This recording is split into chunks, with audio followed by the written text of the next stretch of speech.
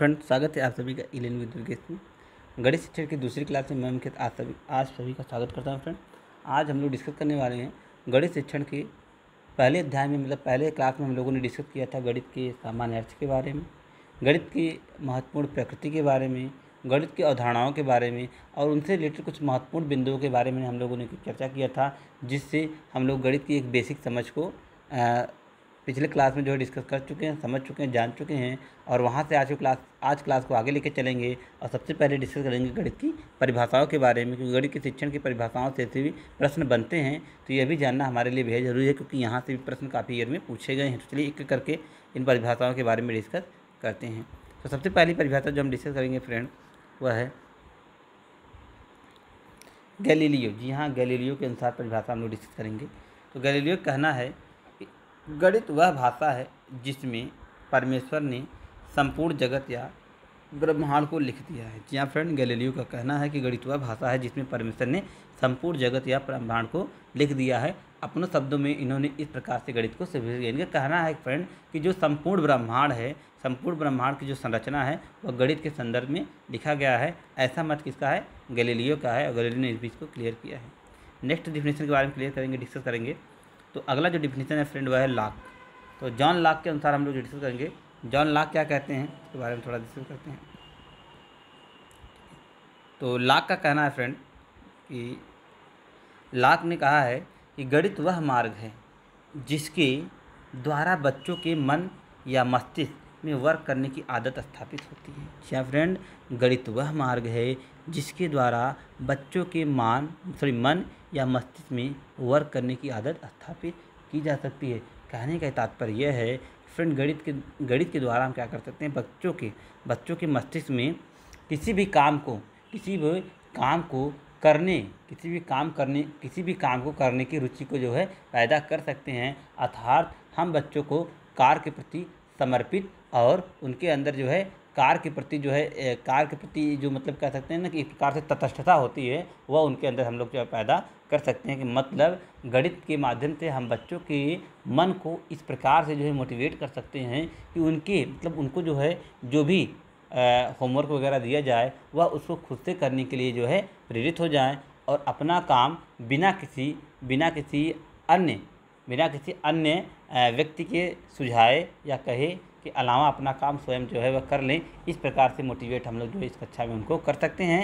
यह कहा है किसने? यह कहना फ्रेंड लॉक के अनुसार कि यह बदगणित वह मार्ग है जिसके द्वारा बच्चों के मन या मस्तिष्क में काम करने की प्रवृत्ति का विकास किया जा सकता है। बच्चा अपने काम को समझने लगे, उसमें रुचि लेने लगे। इस प्रकार की भाव पैदा करने की बात करते हैं। लाख महोदय मोस्ट इंपॉर्टेंट परिभाषा फ्रेंड समझते रहिएगा, जानते रहिएगा। एक कीवर्ड समझिएगा फ्रेंड इस कीवर्ड के माध्यम से परिभाषाओं को समझिएगा। आसानी होगी आपको सारी परिभाषा समझ क्योंकि एक से अधिक साइकोलॉजिस्टों ने, मनोवैज्ञानिकों ने अपनी अपनी परिभाषाएँ दी हैं। तो याद करना संभव नहीं, इसलिए कीवर्ड समझा जा सकता है। जैसे इसमें हमने कीवर्ड लिया है आपका, मन या मस्तिष्क। तो मन या मस्तिष्क हम कीवर्ड बनाते हैं कि लाख के अनुसार यदि परिभाषा है तो कीवर्ड हमारा मन या मस्तिष्क है। मन या मस्तिष्क हमें डिफिनेशन में अगर दिखता है तो हम लॉक की तरफ़ जो है रुख कर सकते हैं और लाख हमारा आंसर सही हो जाएगा। और जहाँ ईश्वरी बात होती है, जहाँ ईश्वरी बात होती है मतलब ईश्वरी या ब्रह्मांड या पृथ्वी वगैरह की जैसे बात होती है तो हम लोग जो है किसकी तरफ़ चलते हैं? जैसे हमने पहले डिफिनेशन में देखा कि गणित गैलेरियो ने कहा है कि गणित वह भाषा जिसमें परमेश्वर ने संपूर्ण गणित या ब्रह्मांड को लिख दिया है। तो मतलब जहाँ पर ब्रह्मांड या संपूर्ण जगत की बात होती है या परमेश्वर की, ईश्वर की बात होती है, वहाँ हम गैलेरियो को जो है अपना मतलब गैलेरियो की वाले विकल्प जो है हम लोग चूज़ कर सकते हैं, उसको आंसर दे सकते हैं। तो इस प्रकार से कीवर्ड के माध्यम से हम परिभाषाओं को याद कर सकते हैं और हमारे लिए एग्ज़ाम में कन्फ्यूज़न नहीं होगा। अगली परिभाषा की तरफ़ बढ़ेंगे फ्रेंड अगली परिभाषा मार्शल महोदय द्वारा है। तो मार्शल का क्या कहना है देखेंगे फ्रेंड तो मार्शल महोदय के अनुसार, गणित ऐसी अमूर्त व्यवस्था है, गणित ऐसी अमूर्त व्यवस्था का अध्ययन है, जो किसी अमूर्त तत्वों से मिलकर बना है, इन तत्वों को मूर्त रूप में परिभाषित किया जा सकता है। इंपॉर्टेंट परिभाषा है फ्रेंड समझिएगा मेरे साथ। गणित ऐसी अमूर्त व्यवस्था का अध्ययन मतलब फ्रेंड गणित कह सकते हैं, गणित को इन्होंने इस तरीके से परिभाषित किया कहा है कि गणित क्या होता है? एक अमूर्त एक अमूर्त व्यवस्था का अध्ययन मतलब क्या है कि जैसे हम बच्चों को क्या है, पहले एक अमूर्त बारे मतलब जैसे क्या है, गणित की संक्रियाओं के बारे में पहले अमूर्त रूप से बताते हैं, अमूर्त व्यवस्था के बारे में बताते हैं। उसके बाद इन अमूर्त तत्वों को मिलाकर इसको मूर्त रूप द्वारा परिभाषित मतलब क्या है, जैसे हम बच्चों को पहले एग्ज़ाम्पल के थ्रू जो है अप्रत्यक्ष रूप से चीज़ों के बारे में बताते हैं। जैसे हमें जोड़ की संक्रिया बच्चों को सिखानी है, या घटाने की संक्रिया बच्चों को सिखानी है, या गुड़ा की संक्रिया बच्चों को सिखानी है तो हम क्या करते हैं, पहले अप्रत्यक्ष उदाहरणों की सहायता से उनके मस्तिष्क में उस विषय को संबंधित जो है, उस विषय से संबंधित रुचि उत्पन्न करते हैं और उनको जो है उस विषय से, उस टॉपिक से जोड़ते हैं। जोड़ने के पश्चात क्या करते हैं? हम उस अमूर्त उदाहरणों का सहारा लेकर उस कॉन्सेप्ट को वह मूर्त रूप देते हैं। अर्थात बोर्ड पर जो है, श्यामपट पर उसको जो है, मूर्त रूप में परिभाषित करते हैं। मूर्त रूप में उसको समझा देते हैं। चाहे गणित की संक्रिया सिखा रहे हैं चाहे हम लोग घटाने की सॉरी चाहे हम लोग जोड़ की संक्रिया सिखा रहे हों, चाहे घटाने की संक्रिया सिखा रहे हों, चाहे गुड़े की संक्रिया सिखा रहे हो, चाहे भाग की संक्रिया सिखा रहे हैं सभी के लिए हम लोग क्या कर सकते हैं, उसको मूर्त रूप में उनको परिभाषित कर सकते हैं, उस पर लिख कर, बाकायदा अच्छे से डिफाइन करके, समझा करके, ठीक है फ्रेंड तो ये हुई परिभाषा मार्शल महोदय एक बार पुनः दोहराइएगा मेरे साथ। गणित एक ऐसी अमूर्त व्यवस्था का अध्ययन है, जो किसी तत्वों से, जो किसी अमूर्त तत्वों से मिलकर बना होता है, इन तत्वों को मूर्त रूप मूर्त रूप में परिभाषित किया जा सकता है, ठीक है? आगे बढ़ेंगे फ्रेंड ये थी थी कुछ महत्वपूर्ण परिभाषाएँ। एक बार इनका रिवीजन करेंगे, उसके बाद हम लोग आगे टॉपिक पर डिस्कस करेंगे। चलिए, एक बार इसको रिवीजन करते हैं। उसके बाद जो है अगले टॉपिक की तरफ़ बढ़ेंगे। चलिए तो पहली परिभाषा दी है फ्रेंड गैलीलियो ने। गैलीलियो का कहना है कि गणित वह भाषा है जिसमें परमेश्वर ने संपूर्ण जगत या ब्रह्मांड को लिख दिया है। पहली परिभाषा गैलीलियो की इन पार्ट रखेंगे। ठीक है की पॉइंट हमारा क्या है? संपूर्ण जगत भी बना सकते हैं, परमेश्वर भी बना सकते हैं ब्रह्मांड भी बना सकते हैं। इनके माध्यम से इन परिभाषाओं की पहचान हम कर सकते हैं। नेक्स्ट है, लाख की परिभाषा। लाख का कहना है, गणित वह मार्ग है, जिसके द्वारा बच्चों के मन या मस्तिष्क में वर्क करने की आदत को स्थापित किया जा सकता है। आदत, ठीक है, या मन या मस्तिष्क, दो की पॉइंट इसमें बन सकते हैं। इनको जो है हम लोग की पॉइंट बनाकर जो इन परिभाषाओं को याद कर सकते हैं। नेक्स्ट मार्शल महोदय की तरफ़ अगर बढ़ेंगे तो मार्शल महोदय ने कहा है देखिए, मार्शल महोदय का बिल्कुल सिंपल है। मूर्त और अमूर्त की जो, मूर्त अमूर्त का जो एक वास्तविक प्रयोग है, इन्होंने अपनी परिभाषाओं में उसका जो है ज़िक्र किया है। तो मूर्त अमूर्त की पॉइंट बन सकता है। फ़िलहाल डिस्कस कर लेते हैं इनके डिफिनेशन के बारे में। तो गणित एक ऐसी अमूर्त व्यवस्था का अध्ययन है, जो कि अमूर्त तत्वों से मिलकर बना है और इन तत्वों को मूर्त रूप से परिभाषित किया जा सकता है। ठीक है तो ये थी परिभाषाएँ जिसके बारे में डिस्कस किया है। अब बात करेंगे एक एक जो है एक एक करके गणित की आवश्यकताओं के बारे में, कि वास्तव में गणित शिक्षण की आवश्यकताएँ क्या है किन उद्देश्यों की पूर्ति के लिए गणित शिक्षण का कार्यक्रम चलाया जाता है? अर्थात, बच्चों को गणित शिक्षण के बारे में अध्ययन करता है। इसी के संदर्भ में एक एक करके इनकी आवश्यकताओं के बारे में हम लोग समझेंगे। चलिए, पहली आवश्यकता है, उसके बारे में देखते हैं। जी हाँ। चलिए तो विज्ञान विश्व में बहुत तेज़ी से अपने पैर पसार रहा है। ठीक है फ्रेंड, विज्ञान विश्व में बहुत तेज़ी से अपने पैर पसार रहा है। इस वैज्ञानिक युग को तेज करने के लिए, इस वैज्ञानिक युग को तेज करने के लिए गणित की महत्वपूर्ण भूमिका है। यहाँ फ्रेंड आप सभी को पता है कि आज टेक्नोलॉजी तकनीकी क्या है, अपनी अपने उच्च स्तर पर स्थापित है। मतलब क्या है, आज तकनीकी का जो है, तकनीकी का युग है, बहुत तेज़ी से वैज्ञानिक कार्य हो रहे हैं, बहुत तेज़ी से वैज्ञानिक आविष्कार हो रहे हैं। लोग जीवन को सरल और सुलभ बनाने के लिए तकनीकी पर पूरी तरीके से आधारित होते चले जा रहे हैं। तो इस तकनीकी मतलब इस वैज्ञानिक युग को और भी और भी और भी सरल करने के लिए और भी उसको जो है सुगम बनाने के लिए गणित का, गणित की एक महत्वपूर्ण भूमिका होती है क्योंकि बिना गणित के उपयोग के कोई भी तकनीकी संबंधित कार्य जो है पूर्ण नहीं किया जा सकता या सरलता से कंप्लीट नहीं किया जा सकता है। इसलिए फ्रेंड, गणित की आवश्यकता यह है कि विश्व स्तर में आज जितने भी तक नए नए तकनीकी स्तरों पर काम हो रहे हैं, उनमें किसी न किसी माध्यम से गणित ज़रूर इन्वॉल्व होता है। यह गणित की उपयोगिता, यह गणित की आवश्यकता को दिखाता है।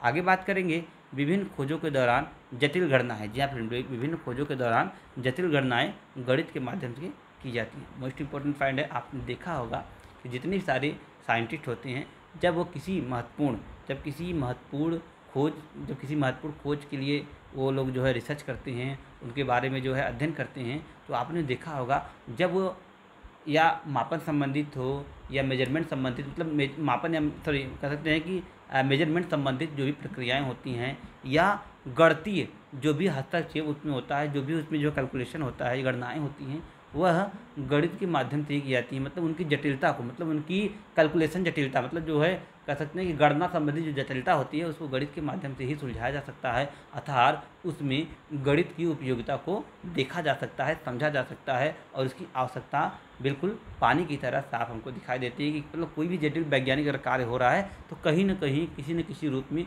गणित की उपयोगिता वहाँ पर निश्चित तौर से दिखाई देती है, जो इसकी आवश्यकता को बिल्कुल क्लियर और स्पष्ट करती है, स्पष्ट बनाती है। नेक्स्ट, वैज्ञानिक प्रगति अब गणतीय प्रगति का पर्याय बन चुका है। वैज्ञानिक प्रगति, अब गणतीय प्रगति का पर्याय बन चुका है। पर्याय का मतलब क्या होता है फ्रेंड पहले आप पर्याय को समझेंगे तो ये ये जो कॉन्सेप्ट है आपका इजीली क्लियर हो जाएगा। पर्याय का मतलब होता है कि एक दूसरे के संपूरक, एक दूसरे के संपूरक। मतलब अगर ये नहीं है तो वो भी कार्य नहीं हो सकता। मतलब एक समान अर्थ वाले देने वाले, एक समान, एक साथ साथ होने वाले मतलब जो कह सकते हैं कि शाम साथ साथ होने वाले विकास। मतलब यदि वैज्ञानिक प्रगति हो रही है तो साथ साथ गणती प्रगति होगी। यदि गणती प्रगति हो रही है तो साथ साथ वैज्ञानिक प्रगति होगी। ये दोनों एक दूसरे से अंत संबंधित है। मतलब क्या होगा कि वैज्ञानिक प्रगति का आधार गणती प्रगति है और गणती प्रगति का आधार वैज्ञानिक प्रगति है। इसलिए एक दूसरे के ये पूरक और पर्याय बन गए हैं। तो ये आवश्यकताएँ आगे और आवश्यकता के बारे में डिस्कस करेंगे एक एक करके। चलिए। तो इतनी महत्वपूर्ण आवश्यकताएँ थी जिसके बारे में हम लोग डिस्कस किया है। एक बार पुनः इसको जो है थोड़ा सा रिविजन कर लेते हैं, उसके बाद जो है आगे हम लोग जो है पढ़ेंगे अगले टॉपिक के बारे में। तो पहली आवश्यकता हमने पढ़ा फ्रेंड कि विश्व में बहुत तेज़ी से, विश्व में क्या है, विज्ञान जो है बहुत तेज़ी से अपने पैर पसार रहा है और इस वैज्ञानिक योग को तेज करने के लिए गणित की भूमिका बहुत महत्वपूर्ण है। इस पहली आवश्यकता के बारे में पढ़ा। दूसरा, गणित खोजों के दौरान जटिल गणनाएँ गणित के माध्यम से की जाती हैं। ये दूसरी आपकी जो है मतलब दूसरी जो व्यवस्था है, इसके बारे में देखा। तीसरा, वैज्ञानिक प्रगति अब गणती प्रगति का पर्याय बन चुका है। यह तीसरी आवश्यकता है जिसके बारे में हम लोगों ने डिस्कस किया। तो ये थी कुछ महत्वपूर्ण आवश्यकताएँ। अब अगले टॉपिक की तरफ़ बढ़ेंगे। अगला कॉन्सेप्ट हम पढ़ेंगे। गणित अधिगम की अवस्थाएँ। जी हाँ फ्रेंड गणित अधिगम की अवस्थाओं के बारे में जो है डिस्कस करेंगे। चलिए।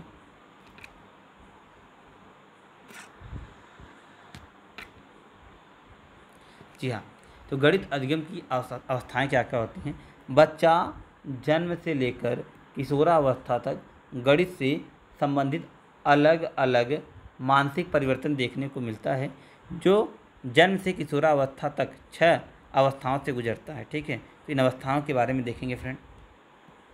चलिए, पहले इनके बारे में पूरा समझ लीजिए कौन कौन सी व्यवस्था है। मतलब जब बच्चा का जन्म होता है और जन्म लेकर किशोरावस्था तक पहुँचने मतलब और गणित किन किन किन किन किन मतलब किन किन अवस्थाओं से उसको गणित समझने के लिए गुजरना पड़ता है उन अवस्थाओं को छह महत्वपूर्ण कैटेगरी में जो है डिवाइड किया गया है उसके बारे में जो है हम लोग डिस्कस करने वाले हैं। तो पहला है आरंभिक अवस्था। आर, आरंभिक अवस्था जिसका नाम है चलिए आरंभिक अवस्था। पहली अवस्था है फ्रेंड आरंभिक अवस्था या इमरजेंट फ़ेज़। दूसरी फ्रेंड इसकी जी हाँ। पहली है आरंभिक अवस्था, इसे कहते हैं इमरजेंट फ़ेज़ दूसरा है मिलान अवस्था, जिसे कहते हैं मैचिंग फ़ेज़ तीसरा है परिमाणात्मक अवस्था, जिसे कहते हैं क्वांटी क्वान्टिटीफाइंग क्वान्टिटीफाइंग फ़ेज़ और तीसरा होता है विभाजन आत्मक अवस्था, जिसे बोलते हैं part party partition partitioning phase विभाजन अवस्था मतलब पार्टीशनिंग फ़ेज़ और पांचवा होता है गुणनखंडी अवस्था, जिसको फैक्टर फैक्टरिंग फ़ेज़ कहते हैं। और छठा होता है संक्रियात्मक अवस्था, जिसे आप ऑपरेशनल फ़ेज़ कहते हैं। फिर से एक एक करके इनके बारे में डिस्कस कर लेते हैं। आरंभिक अवस्था इमरजेंट फ़ेज़ मिलान अवस्था मैचिंग फ़ेज़ परिमाणात्मक अवस्था क्वालिफाइंग फ़ेज़ विभाज, विभाजनात्मक अवस्था पार्टिसिपेटिंग फ़ेज़ और गुणनखंडी अवस्था फैक्टरिंग फैक्टरिंग फ़ेज़ और संक्रियात्मक अवस्था मतलब ऑपरेशनल फ़ेज़ तो ये थी छह बिंदु जिनके बारे में हमको स्पष्ट में चर्चा करनी है। चलिए एक एक करके इन बिंदुओं के बारे में चर्चा करते हैं। इन महत्वपूर्ण पॉइंटों को जो है हम लोग समझते हैं। तो सबसे पहले हम जिसको समझेंगे, उसका नाम है आरंभिक अवस्था या इमरजेंट फ़ेज़। इसकी आयु सीमा के बारे में जान लीजिएगा फ्रेंड इंपॉर्टेंट है। आयु सीमा ज़ीरो से तीन वर्ष, ज़ीरो से थ्री ईयर मतलब कह सकते हैं कि जन्म से तीन वर्ष आरंभिक अवस्था। ये जो इसकी आयु सीमा है, इसको याद रखिएगा फ्रेंड प्रश्न में पूछा जा सकता है। कि गणित के अंतर्गत आरंभिक अवस्था की आयु सीमा कितनी होती है? तो आपको पता है कि गणित के अंदर आरंभिक अवस्था या इमरजेंट फिगर का जो एज एज ड्यूरेशन है, वह ज़ीरो से तीन वर्ष होता है। चलिए देख लेते हैं इस अवस्था में क्या क्या होता है। इस अवस्था में बच्चा वस्तु को देखकर बता सकता है कि कौन सी वस्तु बड़ी है, कौन सी वस्तु छोटी है। मतलब फ्रेंड इस अवस्था मतलब ज़ीरो से तीन वर्ष का जो बालक है वो क्या करता था फ्रेंड वस्तु को देखकर बता सकता है। मतलब दो वस्तु में यदि उसको, उससे पूछा जाए कि कौन सी वस्तु बड़ी है और कौन सी वस्तु छोटी है तो इसका उत्तर वह जो है दे सकता है कि जैसे यदि उसके सामने दो फल रखे जाते हैं, ठीक है, दो फल रखे जाते हैं, एक आम का फल रखा जाता है और एक अनानास का फल रखा जाता है तो बच्चा इसमें बता सकता है कि अनानास का फल बड़ा है और आम का फल छोटा है। मतलब इस प्रकार के प्रश्न के उत्तर वह दे सकता है। इतनी उसकी जो है बौद्धिक क्षमता इस अवस्था में विकसित हो जाती है। ये तो बात हो गई इमरजेंट फ़ेज़ की या आरंभिक अवस्था की। आगे बढ़ेंगे दूसरी अवस्था के बारे में। दूसरी अवस्था है फ्रेंड चलिए थोड़ा इसको ऊपर कर लेते हैं। जी हाँ। दूसरी अवस्था है मिलान अवस्था। ठीक है फ्रेंड मिलान अवस्था, जिसकी आयु सीमा ज़ीरो से सॉरी तीन से पाँच वर्ष, जिसकी आयु सीमा है तीन से पाँच वर्ष। इस अवस्था में बच्चों को दो संख्याओं के नंबर या गिनती को बोल सकने, गिनती को बोल सकने लगता है। किसी भी बड़ी समूह की चीज़ों को गिन भी सकता है। और वह गिनती करके बता सकता है कि कौन सा संख्या बड़ा है कौन सी संख्या छोटा है। ठीक है फ्रेंड? मतलब इतनी बौद्धिक स्तर उसका गणित को लेकर विकसित हो जाता है क्यों क्या करता है? सबसे पहले दो संख्याओं के नंबर या गिनती को बोल सकने लगते जैसे क्या होता है, जैसे फ्रेंड दो अंकों का जो नंबर कह सकते हैं कि दो अंकों का जो नंबर है। जैसे क्या होता है, इकाई और दहाई से बनी जो संख्या है, उनके बारे में जो है, वह उसको पढ़ सकता है और बता सकता है। जैसे मान लीजिए, वह तेरह को पढ़ लेगा। तेरह को पढ़ सकता है कि तेरह है, एक दहाई, तीन इकाई। इनके बारे में जो है, पढ़ सकता है, बता सकता है। साथ ही साथ, बड़े समूहों की चीज़ों को मतलब क्या है, जिसमें क्या है मतलब लगभग क्या है कि तीन या चार से ज़्यादा मतलब एक मतलब एक ऐसा समूह जिसमें क्या है व्यक्तियों की संख्या क्या होती है? दहाई में मतलब दहाई की आंकड़े में होती है। उन समूहों में वह क्या करता है? वस्तुओं को जो है गिन सकता है कि इसमें कितनी वस्तुएँ हैं एक साथ। साथ ही साथ वह यह भी बता सकता है कि कौन सी वस्तु बड़ी है, कौन सी वस्तु छोटी है, क्योंकि फ्रेंड वह है इमरजेंट इमरजेंट फ़ेज़ को क्रॉस कर चुका है और इमरजेंट फ़ेज़ की में उसको जो उसकी बौद्धिक क्षमता इतनी हो गई थी कि वह आसानी से बता सकता था कि कौन सी वस्तु बड़ी है, कौन सी वस्तु छोटी है तो इस इस बौद्ध इस बौद्धिक क्षमता का तो आधार इसमें पहले से उसके अंदर पाया जाता है। ये चीज़ें, ये ज्ञान, ये संज्ञान उसके माइंड में पहले से ही व्याप्त है। आगे बात करेंगे अगली अवस्था के बारे में। अगली फ्रेंड, परिमाणात्मक अवस्था। जी हाँ अगली अवस्था है परिमाणात्मक अवस्था। इसके बारे में डिस्कस करेंगे। परिमाणात्मक अवस्था क्या है? इसकी आयु सीमा फ्रेंड, पाँच से छः वर्ष। इस अवस्था में बच्चा भिन्न भिन्न तरीकों से संख्या को व्यक्त कर सकता है। जैसे सात को चार प्लस तीन या सात को पाँच प्लस दो के माध्यम से वह व्यक्त कर सकता है। मतलब वो वह यह अंतर को समझ जाता है कि चार और तीन जोड़ने पर भी सात आता है और पाँच और दो भी जोड़ने पर सात आता है। मतलब ये जो संख्याओं में परिवर्तन होते हैं, इन संख्याओं में परिवर्तन को समझ जाता है कि मतलब वह जोड़ की संक्रिया को पूरी तरीके से समझ जाता है कि अंक को जोड़ने पर समान मान प्राप्त हो सकते हैं। सम अलग अलग अंकों को जोड़ने पर समान नाम प्राप्त हो सकते हैं। इस प्रकार के विभिन्न विभिन्न अंतरों को जो भी समझ सकता है कि भिन्न भिन्न तरीके से भी एक संख्या प्राप्त की जा सकती है। नेक्स्ट है फ्रेंड विभाजन विभाजन आत्मक अवस्था, जिसकी आयु सीमा है फ्रेंड छः से नौ वर्ष, जिसे हम लोग पार्टिसिपेटिंग फ़ेज़ कहते हैं। अब देखिए फ्रेंड आयु सीमा इंपॉर्टेंट है, याद रखिएगा। परिमाणात्मक अवस्था का और उसके बाद विभाजन विभाजनात्मक अवस्था का। इस अवस्था में बच्चा दो संख्याओं का स्थानीय मान पर विभाजन कर देता है और दो या तीन संख्याओं के नंबर तक जो है, नंबर तक की जानकारी इसको हो जाती है। जैसे फ्रेंड क्या होता है, दो से तीन अंकों की संख्याओं को बोल लेता है, पढ़ सकता है, लिख सकता है। जैसे यहाँ पर 245 है, इसको 245 वो आसानी से पढ़ सकता है। इसमें इकाई के स्थान पे क्या है वो बता लेगा दहाई के स्थान पे क्या है, वह बता लेगा, सैकड़े के स्थान पे वह क्या वह क्या है ये बता सकता है। अगर यह चीज़ जो बता लेता है तो ज़ाहिर सी बात है, स्थानीय मान की भी जानकारी उसको हो जाती है, क्योंकि पाँच का स्थानीय मान वो पता चल जाएगा पाँच इकाई के स्थान पर तो पाँच का स्थानीय मान पाँच होगा और चार दहाई के स्थान पे है तो चार का स्थानीय मान चालीस होगा मतलब चार गुड़े दस बराबर चालीस होगा और दो जो है वह सैकड़े के स्थान पर है तो मतलब दो में हम सौ से गुड़ा करेंगे तो दो सौ आएगा मतलब सैकड़े के स्थान पर दो सौ है। इस प्रकार से दो या दो या तीन अंकों से बनी संख्या को बारे में पढ़ सकता है, स्पष्ट रूप से बता सकता है। साथ ही साथ उनकी प्लेस वैल्यू के बारे में भी जो है जानकारी वो दे सकता है। नेक्स्ट बात करेंगे अगली। गुणनखंडी अवस्था के बारे में। जी हाँ गुणनखंडी अवस्था क्या होती है? फैक्टराइजेशन फैक्टराइज फैक्टराइंग फ़ेज़ के बारे में। इसकी आयु सीमा है नौ से ग्यारह वर्ष। इस अवस्था में बच्चा एक दर्जन में कितनी वस्तुएँ होती हैं या तीन से चार दर्जन में कितनी वस्तुएँ होती हैं?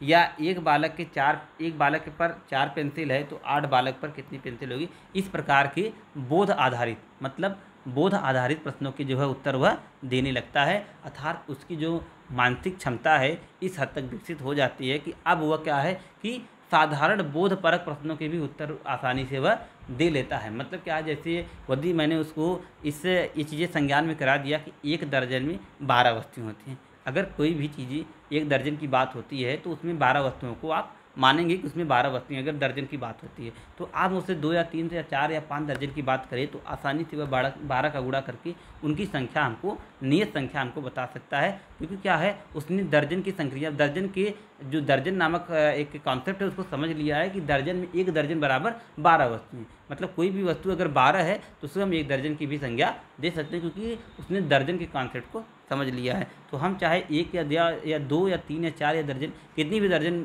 वस्तुएँ रख दें और उसकी नियत संख्या पूछें तो आसानी से वह बारह का गुड़ा करके उनकी संख्या को हमें क्लियर बता सकते हैं, क्योंकि यह उसके संज्ञान में अब जा चुका है कि एक दर्जन में बारह वस्तुएँ होती हैं। साथ ही साथ, वह बोध आधारित मतलब तो सरल सरल बोध आधारित प्रश्न है, उनके उत्तर भी वह मौखिक रूप से देने लगता है। जैसे यदि हम उसके कहें कि एक बालक के पास चार पेंसिल है तो ऐसे ही आठ बालकों के पास कितनी पेंसिल होगी तो आसानी से वह बता सकता है कि आठ चौक बत्तीस मतलब उनके पास कितनी पेंसिल होंगी? बत्तीस पेंसिल होंगी। तो इस प्रकार से साधारण बोध उसकी इस अवस्था तक आते आते विकसित हो जाती है। ये हम लोग बात करें फ्रेंड गुणनखंडी अवस्था या नौ से ग्यारह वर्ष की अवस्था के बारे में बात कर रहे हैं, जिससे फैक्टरिंग फैक्टरिंग फ़ेज़ के नाम से इसको हम लोग जानते हैं। फैक्टर मतलब ये क्लियर है फ्रेंड की गुड़ा की जो संक्रिया है वो इस अवस्था में बच्चों में डेवलप हो जाती हैं, विकसित हो जाती हैं। आगे बात करेंगे अपने अंतिम अवस्था के बारे में। अगले अंतिम अवस्था के बारे में तो अगली हमारी जो अंतिम अवस्था है, वह है हमारा, चलिए, अगली अंतिम अवस्था हमारी है। संक्रिया अवस्था संक्रिया अवस्था जिसकी आयु सीमा नौ से ग्यारह वर्ष सॉरी नौ से ग्यारह वर्ष, ये देखिए थोड़ा सा इसमें त्रुटि है, ये ग्यारह वर्ष से ऊपर। ग्यारह से ऊपर तक के जो आयु के बच्चे होते हैं, वह इस अवस्था में मतलब आ जाते हैं। मतलब संख्यात्मक अवस्था का मतलब फ्रेंड क्या होता है कि बच्चा गणित संबंधी जितनी भी संक्रियाएँ हैं, लगभग लगभग सामान्य रूप से सभी समझने लगता है। जिसमें क्या आता है, जोड़ के बारे में उसको ज्ञान हो जाता है, घटाने के बारे में उसको ज्ञान हो जाता है गुड़े के बारे में उसको ज्ञान हो जाता है, तथा भाग की संक्रिया के बारे में समझने लगता है। साथ ही साथ स्थानीय मान की जानकारी हो जाती है। साथ ही साथ भिन्न व दशमलव संख्याओं से भी वह परिचित हो जाता है। सीधे मतलब कह सकते हैं सीधे सीधे गणित की एक बेसिक समझ उसके अंदर आ जाती है, जिनमें बेसिक समझ के यदि हम बात करें फ्रेंड तो उससे जोड़ का ज्ञान हो जाता है। उसे घटाने के बारे में जानकारी हो जाती है। वह गुड़े को समझने लगता है, वह भाग की संक्रिया कर लेता है, साथ ही साथ वह स्थानीय मान को समझ लेता है। दो या तीन या चार अंकों से बनी अंक अंकों मतलब बनी संख्याओं को पढ़ लेता है, समझ लेता है, उनके स्थानीय मान को समझ लेता है। उसके साथ अन्य आधारभूत संक्रियाओं को समझने में सफल हो जाता है। जैसे एग्ज़ाम्पल हमारे सामने दिया गया है। इसको देख लेते हैं। जी हाँ। जैसे पाँच सौ उनतीस को वह विस्तारित रूप में भी लिख सकता है। पाँच सौ प्लस बीस प्लस नौ या पाँच गुड़े सौ या दो गुड़े दस या नौ गुड़े सॉरी, पाँच गुड़े सौ प्लस दो गुड़े दस प्लस नौ गुड़े एक के माध्यम से उसको जो है मतलब इस गुड़न खंड का मतलब क्या है ये इसका एक तरीके से कह सकते हैं कि एक विस्तारित रूप जो है लिख सकता है, समझ सकता है और इनमें समय जो संक्रियाएँ मतलब जो संक्रियाएँ उसमें वह उचित संक्रियाएँ वह कर सकता है उसको देख अच्छे से भली भांति वह समझ सकता है। तो ये थी महत्वपूर्ण छः अवस्थाएँ जिनके बारे में हम लोगों ने डिस्कस किया है। तो एक बार इन अवस्थाओं को रिविजन कर लेते हैं, उसके बाद इस क्लास को जो है यहीं तक कंटिन्यू करते हैं, उसके बाद आगे कल हम लोग जो है डिस्कस करेंगे एन के अनुसार गणित के उद्देश्य के बारे में। तो चलिए इसको पहले एक बार रिविजन कर लेते हैं। उसके बाद जो है, एक एक करके चलिए। सबसे पहले हम लोगों ने जाना आरंभिक अवस्था के बारे में। तो आरंभिक अवस्था की आयु सीमा फ्रेंड, ज़ीरो से तीन वर्ष या जन्म से तीन वर्ष, इमरजेंट फ़ेज़ से कहते हैं। इस अवस्था में छोटी बड़ी वस्तुओं में जो है बालक पहचान कर सकता है, ये इसकी विशेषता है। दूसरी है, मिलान अवस्था, जिसकी आयु सीमा तीन से पाँच वर्ष। इस अवस्था में बालक क्या करता है, गिनती की ज्ञान हो जाता है, दो अंकों की संख्याओं के बारे में पहचान लेता है, तथा बड़े समूहों में चीज़ों को गिन सकता है। तीसरी अवस्था फ्रेंड क्या होती है? परिमाणात्मक अवस्था है, जिसकी आयु में आपने देखा है कि पाँच से छः वर्ष है। याद रखिएगा, इसमें क्या कर सकता है वो विभिन्न तरीके से संख्याओं को जो व्यक्त करने का प्रोसेस है, उसको आसानी से समझ लेता है। साथ ही साथ अगली जो अवस्था है, विभाजन विभानात्मक अवस्था इसको वह क्या करता है, जो छः से नौ आयु सीमा के लिए है, इसमें वह स्थानीय मान पर विभाजन की प्रक्रिया को अच्छे तरीके से समझ लेता है कि मतलब कैसे बड़े से बड़े संख्याओं का स्थानीय मान निकाला जाता है और स्थानीय मान की प्रक्रिया क्या होती है और वह दो से दो या तीन अंकों की संख्याओं को पढ़ लेता है, उनके स्थान से परिचित हो जाता है। नेक्स्ट है फ्रेंड गुणनखंडीय अवस्था। तो गुणनखंडीय अवस्था का मतलब होता है जो इसकी आयु सीमा नौ से ग्यारह वर्ष है। इस अवस्था में क्या करता है, बच्चा दर्जन और दर्जन की संक्रिया मतलब दर्जन की कॉन्सेप्ट से क्लियर हो जाए मतलब दर्जन का जो कॉन्सेप्ट है उसको समझ लेता है और यदि प्रश्न पूछा जाता है तो कितने मतलब एक या दो या तीन दर्जन में कितनी वस्तुएँ होंगी तो आसानी से उसका उत्तर दे लेता है। साथ ही साथ, मौखिक प्रश्नों के भी उत्तर देने में सक्षम हो जाता है। और अंतिम अवस्था में फ्रेंड तो अंतिम अवस्था में वो पूरी तरीके से परिपक्व हो जाता है। इसकी आयु सीमा ग्यारह वर्ष से ऊपर होती है।